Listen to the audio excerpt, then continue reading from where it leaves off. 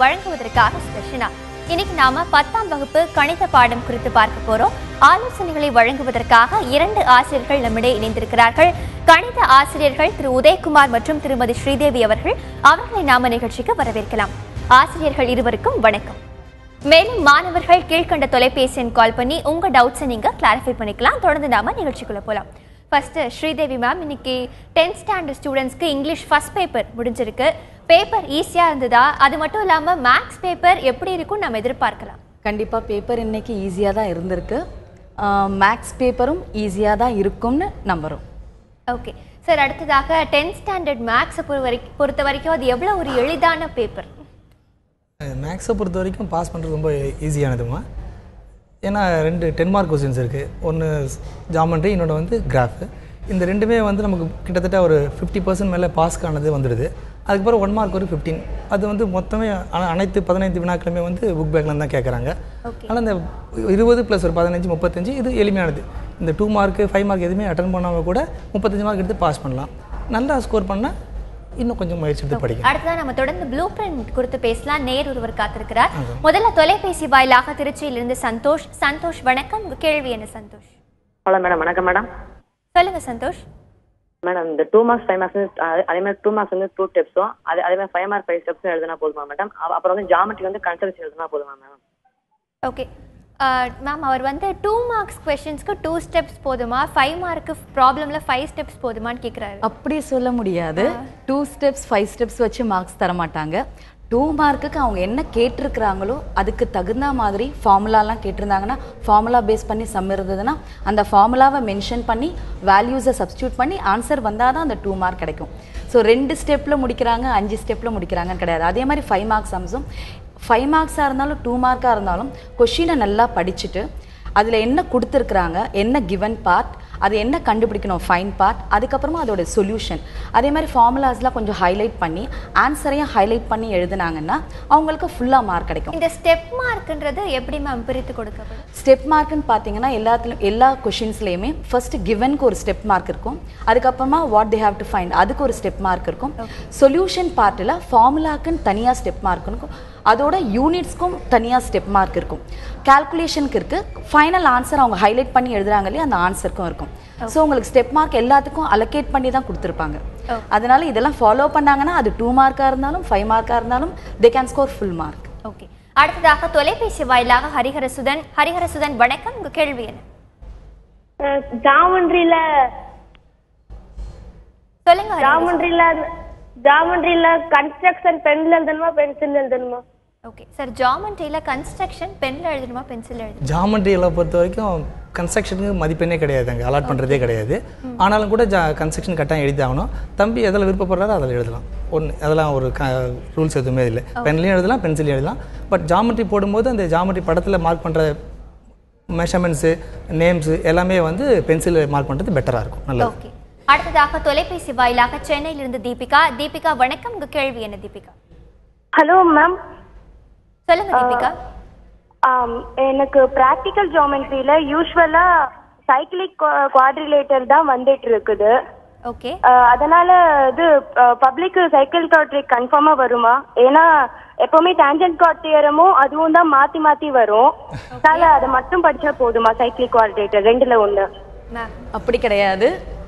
Practical geometry பொறுத்த வரைக்கும் உங்களுக்கு மூணு எக்ஸசைசஸ் இருக்குது அந்த மூணு எக்ஸசைசஸில் கண்டிப்பாக ரெண்டு எக்ஸசைஸ் அவங்க தரோ பண்ணி தான் ஆகணும். டேஞ்சன்ட் இல்லை ட்ரையாங்கிள் இல்லை ட்ரையாங்கிள் இல்லை சைக்ளிக் குவாட்ரிலேட்டரல் அது மாதிரி ஏதாவது ரெண்டு எக்ஸசைஸ் தரோவாக இருக்கணும். டேஞ்சன்ட் தான் வரும்னு சொல்ல முடியாது சைக்ளிக் குவாட்ரிலேட்டர் தான் வரும்னு சொல்ல முடியாது. கண்டிப்பாக மூணு எக்ஸசைஸில் ரெண்டு எக்ஸசைஸ் தரோ பண்ணி தான் ஆகணும். ஆனாலும் சூஸ் பண்ணும்போது செம்ம கொஞ்சம் பார்த்து அவங்க எந்த சம் கம்ஃபர்டபுளாக ஃபீல் பண்ணுறாங்களோ அந்த செம்மை எடுத்து அவங்க ஒர்க் அவுட் பண்ணாங்கன்னா they can score full ten marks எடுக்கலாம். ஓகே சார் இப்போ நிறைய ஸ்டூடெண்ட்ஸ் வந்து கிராஃப் ஜாமெட்ரி பத்தி கொஸ்டின் கேக்குறாங்க.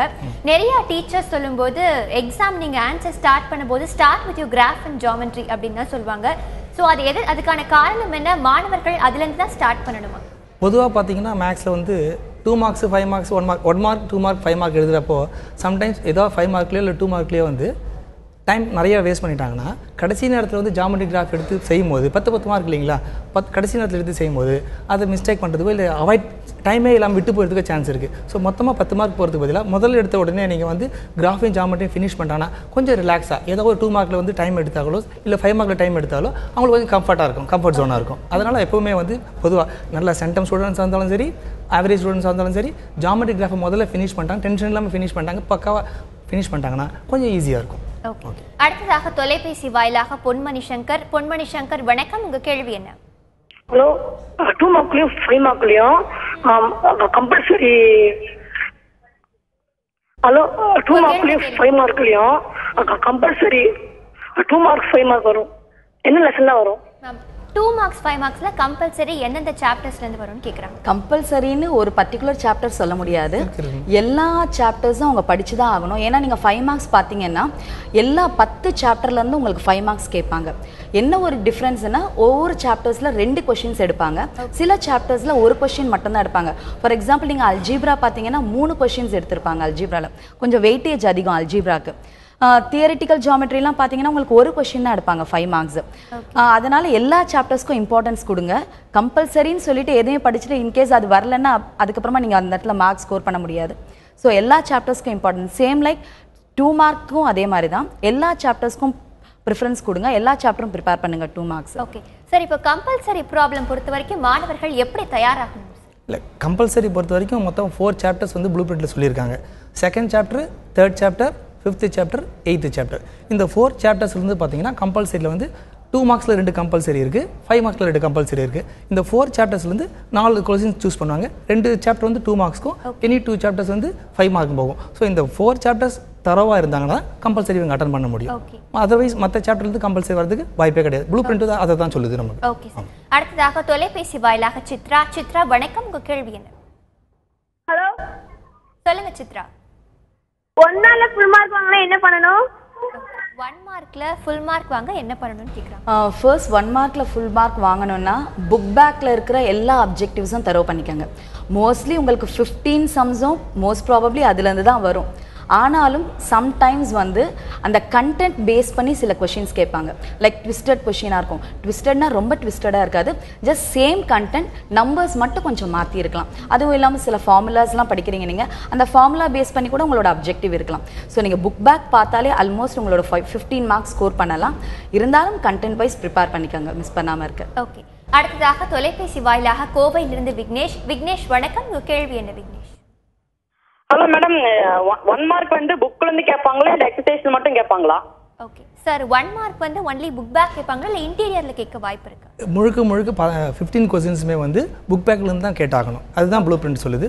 அது சம் மிஸ் சொன்ன மாதிரி சம்டைம்ஸ் ஒன் ஆர் டூ வந்து கேட்டிருக்கலாம். ஆனால் கம் கம்பல்சரி பார்த்தீங்கன்னா புக் பேக்லேருந்து தான் ஃபிஃப்டீன் ஒன் மார்க்ஸ் தான் வரும். புக் பேக் மட்டும் தரவா பண்ணாலே கட்டாயம் நீங்கள் ஃபிஃப்டின் மார்க்ஸ் ஸ்கோர் பண்ண முடியும். ஓகே மேம் இப்போ சார் வந்து ஒன் மார்க்ஸ் பத்தி சொல்லியிருந்தாரு. இந்த ஒன் மார்க் மாணவர்கள் எப்படி பிராக்டிஸ் பண்ணணும் மேம் டெய்லி ஃபுல் மார்க் எடுக்க எப்படி அவங்க தயாராகணும்? நீங்கள் முதல்ல சாப்டர்ஸோட கண்டென்ட் தரோ பண்ணிக்கோங்க. அதில் ஃபார்முலாஸ் இருந்ததுன்னா ஃபார்முலாலாம் தரோ பண்ணிக்கோங்க. ஏன்னா ஒன் மார்க்கில் எல்லா கொஷினும் டேரெக்ட் ஆன்சர்ஸ் பண்ணுற மாதிரி இருக்காது. சில கொஷின்ஸ் வந்து ஒர்க் அவுட் பண்ணால் தான் அவங்களுக்கு ஆன்சர் கிடைக்கும். ஸோ அந்த டைமில் வந்து அவங்க மக் பண்ண முடியாது அந்த ஆன்சர்ஸ் எல்லாம். ஸோ அவங்க வந்து அந்த கொஷின்ஸ் எல்லாமே ஒரு முறை என்ன பண்ணுங்கள் அந்த ஒன் மார்க் எல்லாமே ஒவ்வொரு சாப்டருக்கு பின்னாடியும் ஒரு fifteen to twenty one marks தான் இருக்கும்.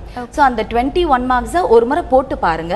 ப்ராக்டிஸ் அதுக்காக ஒரு தனியாக ஒரு செப்பரேட் நோட் வச்சுட்டு ப்ராக்டிஸ் பண்ணி வச்சுக்கோங்க. அதுக்கப்புறம் ஒன்ஸ் பிஃபோர் எக்ஸாம்க்கு போகிறதுக்கு முன்னாடி அந்த ஒன் மார்க்ஸை ஒரு முறை ஒரு கிளான்ஸ் கோ த்ரூ பண்ணிக்கலாம். அவங்களே அவங்களுக்குள்ள ஒரு டெஸ்ட் மாதிரி வச்சுக்கலாம் செக் பண்ணலாம் ஆன்சர்ஸை ஸோ இந்த மாதிரி ப்ரிப்பேர் பண்ணாங்கன்னா இட் இஸ் ஈஸி டு மெமரியில் கொஞ்சம் நல்லா இருக்கும் அவங்களுக்கு. ஓகே அடுத்ததாக தொலைபேசி வாயிலாக முதல்வன் முதல்வன் வணக்கம். உங்க கேள்வி என்ன? ஹலோ சொல்லுங்க முதல்வன் உங்க கேள்வி என்ன? டூ மார்க் வந்து இப்ப ஃபைவ் மார்க்ல கேட்க வாய்ப்பு இருக்கா? Okay sir two mark five மார்க்ல கேட்க வாய்ப்பு இருக்கா? நம்ம ப்ளஸ் டூவில் பார்த்தீங்கன்னா சிக்ஸ் மார்க்கு டென் மார்க்லாம் பிரித்து வச்சுருக்காங்க. நம்ம அந்த மாதிரி நமக்கு டென்த்தில் வந்து இதுதான் டூ மார்க்ஸ் இதெல்லாம் ஃபைவ் மார்க்ஸ்லாம் பிரித்து வைக்கல. பட் இருந்தால் கூட வந்து மினிமம் ஒரு three steps four ஸ்டெப்ஸுக்குள்ளே within the three or four ஸ்டெப்ஸில் வர மாதிரி டூ மார்க்ஸ் இருக்கும். சம்டைம்ஸ் வந்து இவங்களே நினச்சிப்பாங்க இது டூ மார்க் கொஸ்டின் இது ஃபைவ் மார்க்கில் கேட்டிருக்காங்க இது ஃபைவ் மார்க் கொஸ்டின் இது டூ மார்க் கேட்டிருக்காங்கன்ட்டு. பட் டூ ஃபார்முலாஸ் இன்வால்வ் ஆகிற மாதிரி வந்ததுன்னா அது ஃபைவ் மார்க்ஸாக இருக்கும். ஒரே ஒரு சிங்கிள் ஃபார்முலாவில் நம்ம வந்து செம்ம ஃபினிஷ் பண்ண முடியும்னா அது டூ மார்க் தான் இருக்கும் மோஸ்ட்லி ஓகே அடுத்ததாக தொலைபேசி வாயிலாக ஜெயசூர்யா. ஜெயசூர்யா வணக்கம். உங்க கேள்வி என்ன? மேம் குட் ஈவினிங் மேம் சொல்லுங்க ஜெயசூர்யா உங்க கேள்வி என்ன? எக்ஸசைஸ் சம்ஸ்லாம் பார்க்கணுமா? ஓகே எக்ஸசைஸ் சம்ஸ் மட்டும் பார்த்தா போதுமான்னு இல்ல போதாது. எக்ஸாம்பிள் சம்ஸும் பார்க்கணும். ஏன்னா எக்ஸசைஸ் எக்ஸாம்பிள் ரெண்டுக்கும் சம்டைம்ஸ் ஈக்குவல் வெயிட்டேஜ் தராங்க. அதனால எக்ஸாம்பிள் சம் எக்ஸசைஸ் ப்ராப்ளம்ஸ் ரெண்டையும் நல்லா ப்ராக்டிஸ் பண்ணுங்க. அப்பதான் நீங்க எல்லா ஆன்சர்ஸும் அட்டன் பண்ண முடியும் அந்த இடத்துல. ஓகே நீங்க சொன்ன மாதிரி மேக்ஸ் பொறுத்த வரைக்கும் ஒர்க் அவுட் பண்றது ரொம்பவே ப்ராக்டிஸ் கண்டிப்பாக பண்ணணும். ஏன்னா மேக்ஸ் வந்து ஃபுல் ஆஃப் கால்குலேஷன்ஸ் அவங்க வந்து ஒர்க் அவுட் பண்ணாதான் அந்த கால்குலேஷன் எரர் அவங்களுக்கு வராது. ஏன்னா ஒரு சின்ன மைனஸ் சைன் மாறினா கூட உங்களோட ஃபுல் ஆன்சர் மாற சான்ஸ். ஸோ ஃபுல்லாக கால்குலேஷன் போட்டு பார்க்கணும். ஒர்க் அவுட் பண்ணால் மேக்ஸ் ரொம்ப ஈஸி சார் இப்போ வந்து பிரேக்குக்கு முன்னாடி கம்பல்சரி ப்ராப்ளம் பத்தி பேசிட்டு இருந்தோம். இப்போ கம்பல்சரி ப்ராப்ளம் மேம் சொன்ன மாதிரி எக்ஸசைஸ்ல இருந்து வரலாம் எக்ஸாம்பிள்ல இருந்து வரலாம்னு சொல்லியிருந்தாங்க. இப்போ எக்ஸசைஸ்ல இருந்து இத்தனை ப்ராப்ளம் தான் வரும் அப்படின்னு ப்ளூ பிரிண்ட் ஏதாவது கொடுத்துருக்காங்க. ஆமாம் இப்போ கம்பல்சரி கொஸ்டின்ஸை தவிர டூ மார்க்ஸ்லையும் சரி ஃபைவ் மார்க்ஸ்லையும் சரி ஈச் செக்ஷனில் ஃபோர்டீன் கொஸ்டின்ஸ் இருக்கும். அந்த ஃபோர்டீன் கொஸ்டின்ஸில் பார்த்தீங்கன்னா எக்ஸாம்பிள்லேருந்து சிக்ஸ் கொஸ்டின்ஸ் கேட்கணும் எக்ஸசைஸ்லேருந்து எயிட் கொஸ்டின்ஸ் கேட்கணுன்றது தான் ப்ளூ பிரிண்ட்டு அதனால் நம்ம வந்து எக்ஸாம்பிளுக்கு வந்து எக்ஸாம்பிளுக்கும் எக்ஸசைஸ் சம்ஸ்க்கு வந்து ஈக்குவல் ப்ரெஃபரன்ஸ் கொடுத்தாகணும். கட்டாயம். ரெண்டு two marks and five marks ரெண்டுத்துலேயுமே okay ma'am அடுத்ததா மேத்ஸ் பொறுத்த வரைக்கும் ஸ்டூடெண்ட்ஸ்க்கு த்ரீ டேஸ் ஸ்டடி ஹாலிடேஸ் வருது. த்ரீ டேஸ் அவங்க எப்படி பிளான் பண்ணி படிக்கணும் மேம் ஃபர்ஸ்ட் டே வந்து நீங்கள் ஃபைவ் மார்க்ஸ் சம்ஸ் எல்லாம் எடுத்துக்கலாம். எல்லா டென் சாப்டர்ஸில் கிராஃப் ப்ராக்டிக்கலில் உங்களுக்கு ஃபைவ் மார்க்ஸ் சம்ஸ் கிடையாது. ஸோ மற்ற டென் சாப்டர்ஸ்லேருந்து என்னென்ன ஃபைவ் மார்க்ஸ் சம்ஸ் இருக்கோ அது எல்லாமே ஒர்க் அவுட் பண்ணலாம். ஃபர்ஸ்ட் டே செகண்ட் டே வந்து ஏன்னா ஃபைவ் மார்க்ஸ் சம்ஸ் தான் கொஞ்சம் டஃப்பாக ஃபீல் பண்ணுவாங்க. Second day two marks sums graph objectives இதில் கொஞ்சம் கான்சென்ட்ரேட் பண்ணலாம். அண்ட் தேர்ட் டே இவங்க என்னென்ன இந்த ரெண்டு நாளில் படித்தாங்களோ அதை ஒரு ரீகலெக்ட் பண்ணலாம் அவங்க. அண்ட் ஃபார்முலாஸ் எல்லாம் கொஞ்சம் எழுதி பார்க்கலாம் அவங்க. And then previous year question papers இருக்கும். எல்லாம் படித்து முடிச்சுட்டு ஒரு கான்ஃபிடன்ஸ் லெவல் அவங்க ரீச் பண்ண உடனே அந்த ப்ரீவியஸ் இயர் கொஷின் பேப்பர்ஸே அவங்க ஒர்க் அவுட் பண்ணி பார்க்கலாம். ஸோ அதில் ஏதாவது மிஸ்டேக் இருந்ததுன்னா அவங்க அப்போவே ரெக்டிஃபை பண்ணிக்கலாம் அந்த மிஸ்டேக்ஸ் எல்லாம். நீங்க இப்போ ஃபார்முலாஸ் பத்தி சொன்னீங்க. நிறைய ஃபார்முலாஸ் வரும். மாணவர்கள் அதை நினைவுல வச்சுக்க அவங்க எப்படி பயிற்சி எடுத்துக்கணும்? ஃபார்முலாஸ் எல்லாம் வந்து உங்களுக்கு எல்லா ஃபார்முலாஸ் ஃபார்முலாஸ் பார்த்தீங்கன்னா மென்சுரேஷன் சாப்டர்ல நிறைய ஃபார்முலாஸ் இருக்கும். அந்த ஒவ்வொரு ஃபார்முலாவுக்கும் ஒரு பேஸ் இருக்கும் உங்களுக்கு. ஒரு சாதாரண ஒரு சர்க்கம் சர்க்கம்ஃபரன்ஸ் ஆஃப் த பேஸ்னா அது சர்க்கிளோட ரிலேட் ஆயிருக்கு. அப்படின்னு அந்த மாதிரி ரிலேட் பண்ணி அவங்க ஞாபகம் வச்சுக்கலாம். ஒரு சிலிண்டர் எஸ் ஒரு ஏன்னா சாதாரணமா மக் பண்ண ஃபார்முலாஸ் ஃபைனல் இதுல வந்து ஒரு ரேடியஸ் மாறினாலும் தவறாயிடும். ஸோ ஃபார்முலாஸ் எல்லாமே ஒரு சிலிண்டர் எடுத்துக்கிட்டிங்கன்னா அதோட பேசஸ் வந்து சர்க்கிள் பேசஸ்னு தெரியும். ஸோ சர்க்கிளோட ரிலேட் பண்ணாங்கன்னா அவங்களுக்கு அந்த சர்க்கம்ஃபரன்ஸ் சர்க்கம்ஃபரன்ஸோட ஃபார்முலா வந்து ஈஸியாக அவங்க ரீகலெக்ட் பண்ணி எழுதலாம். ஓகே மேம் அடுத்ததாக தொலைபேசி வாயிலாக எழிலரசி. எழிலரசி வணக்கம். உங்க கேள்வி என்ன? Hello good evening madam hello கேள்வி என்ன? ஹலோ சொல்லுங்க. மேடம் டெக்னாமெட்ரி ஸ்டாட்டிஸ்டிக்ல ஏதாவது இம்பார்ட்டன்ட் எக்ஸசைஸ் மட்டும் பார்த்தா போதுங்களா? ஃபுல்லா ஃபுல்லாவே பார்க்கணுங்களா? சென்டம் வாங்குறதுக்கு? சார் ட்ரிக்னோமெட்ரி ஸ்டாட்டிஸ்டிக்ஸ்ல புக் பேக் மட்டும் பார்த்தா போதுமான்னு கேக்குறாங்க. இப்போ நீங்கள் ட்ரிக்னாமெட்ரியும் ஸ்டாட்டிஸ்டிக்ஸும் வந்து அதை மட்டும் தான் நீங்கள் சரியாக படிக்காம இருக்கீங்க. மற்ற சாப்டர்ஸ் எல்லாமே தரவாக இருந்தீங்கன்னா அந்த நேரத்தில் வந்து நீங்கள் ட்ரிக்னாமெட்ரிலையும் ஸ்டாட்டிஸ்டிக்ஸ்லையும் டூ மார்க்ஸ் மட்டும் பார்த்தா கூட போதும். சென்டம் அடிச்சிடலாம் ஒன்றும் பிரச்சனை இருக்காது. ஆனால் நீங்கள் அதே நேரத்தில் இப்போ நான் நான் சார் சொன்னாருன்றதுக்காக நீங்கள் ட்ரிக்னாமெட்ரி ஸ்டாட்டிஸ்டிக்ஸ் இதெல்லாம் விட்டுட்டு மற்ற சாப்டரில் வீக்காக இருந்தீங்கன்னா ஒன்றும் பண்ண முடியாது. ஸோ மற்ற சாப்டர்லாம் ஸ்ட்ராங்காக இருக்கும் பட்சத்தில் நீங்கள் ட்ரிக்னாமெட்ரிலையும் ஸ்டாட்டிஸ்டிக்ஸ்லையும் வந்து ஒன்லி டூ மார்க்ஸ் மட்டும் கலெக்ட் பண்ணி பார்த்துட்டு பாக்கி மற்ற சம்ஸை நீங்கள் அவாய்ட் பண்ணலாம். ஓகே அடுத்ததாக தொலைபேசி வாயிலாக அப்துல் அப்துல் வணக்கம். உங்க கேள்வி என்ன Abdul? Good evening sir good evening சொல்லுங்க அப்துல். உங்க கேள்வி என்ன? தீரம் புக்கில் உள்ள மாதிரி இதுனா அப்படியே அஞ்சு மார்க் போடுவாங்களா? ஓகே மேம் தியரம் புக்ல உள்ள மாதிரி எழுதினா ஃபுல் மார்க்ஸ் போடுவாங்களான்னு கேக்குறேன். கண்டிப்பா போடுவாங்க. புக்கில் இருக்கிற மாதிரி எழுதணும் அதுதான் மெயின் ஏன்னா ஸ்டேட்மெண்ட்லாம் எழுதும்போது பிள்ளைங்க என்ன பண்ணுவாங்கன்னா கொஞ்சம் ஓன் லைன்ஸ் எல்லாம் ஆட் பண்ணுவாங்க. அந்த மாதிரி போட வேண்டாம். ஓன் வேர்ட்ஸ் எழுத வேண்டாம். ஏன்னா சில கீவேர்ட்ஸ் இருக்கும் ஒவ்வொரு ஸ்டேட்மெண்ட்லேயும் ஸோ அந்த கீவேர்ட்ஸை ஃபாலோ பண்ணுங்க. டயக்ராம் ப்ராப்பராக எழுதுங்க. அந்த கொடுத்துருக்கிற கன்ஸ்ட்ரக்ஷன் பார்ட்டு என்ன ப்ரூஃப் பண்ணணுமோ அந்த ப்ரூஃப்க்கு சில பாயிண்ட்ஸ்க்கெலாம் ரீசன்ஸ் கொடுக்கணும் சைடில் ஸோ அந்த ரீசன்ஸோட கொடுத்தாங்கன்னா கண்டிப்பாக ஃபுல் ஃபைவ் மார்க்ஸ் கிடைக்கும் அவங்களுக்கு. சரி இப்போ நம்ம தியரம் பத்தி பேசிட்டு இருந்தோம். தியரம் சொல்லும்போது என்னென்ன சாப்டர்ஸ்லாம் தியரம் இருக்கு? என்னென்ன தியரம்ஸ் வர வாய்ப்புகள் இருக்கிறது தியரம்னா சிக்ஸ்த்து சிக்ஸ்த்து சாப்டர் மட்டும்தான் தியரம் வரக்கூடியது. அந்த தியரம் வந்து ஒரு மேக்ஸிமம் ஒரு அஞ்சு தேரம் இருக்குது அந்த அஞ்சு தேரம் தரவாக படிச்சுக்கணும். இந்த தேரம் அட்டன் பண்ணுற பிள்ளைங்க வந்து முக்கியமாக அவங்க கவனிக்க வேண்டியது என்னென்னா வித்தவுட் டயக்ராமுக்கு வந்து தியரமுக்கு மார்க் வந்து கிடையாது. ஸ்டேட்மெண்ட் மட்டும் ஸ்டேட்மெண்ட்டுக்கு மட்டும் ஒரு மார்க்கோ இல்லை ரெண்டு ஒரு மார்க் கொடுத்துருவாங்க. அலாட் பண்ணுற மார்க்கு ஒரு மார்க் கொடுத்துருவாங்க. டயக்ராம் இல்லாமல் தியரம் வந்து பர்ஃபெக்டாக அவங்க படித்து எழுதியிருந்தா கூட ஒரு ஸ்டூடெண்ட் கேட்டாங்க புக்கில் இருக்க மாதிரி எழுதினா மார்க் கொடுப்பாங்க புக்கில் இருக்க மாதிரி எழுதினா தான் மார்க் கொடுப்பாங்க.